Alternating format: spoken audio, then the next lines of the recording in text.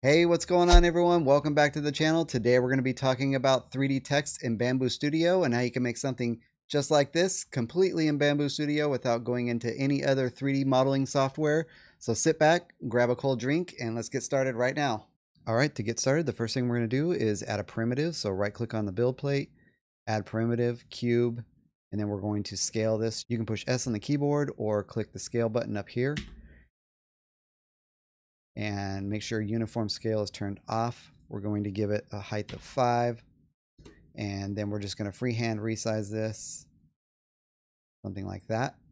And then if you deselect your tool, you won't be able to add your text to this object. So make sure you select it.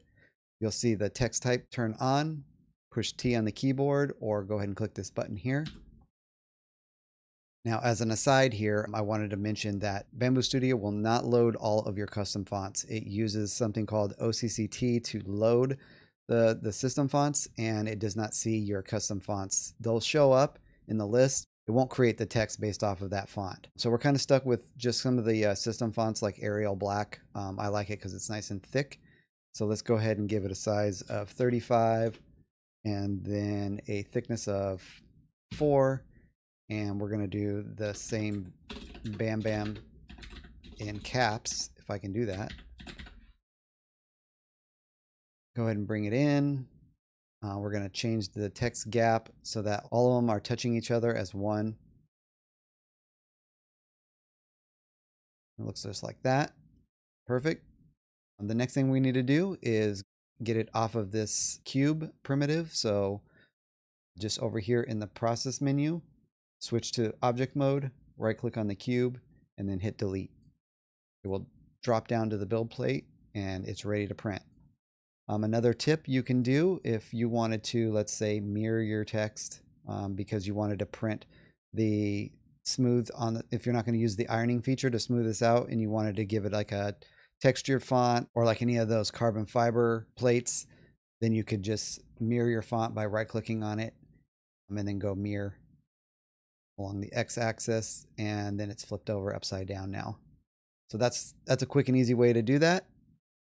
Now the next thing if we want to take this one more step further is let's go ahead and add another primitive cube and let's scale that again. Same thing, 5 and let's just go this and go ahead and push T on the keyboard again Let's do it a little bit smaller, same thickness. Print. I'll show you why I'm doing this here in a second. Let's go ahead and switch to the Arial Black, same font, and pull it in. I know it's going to smush all these letters. You won't be able to see the I, but just for the sake of this tutorial, that looks good. We're going to do the same thing. Right click on cube, click delete.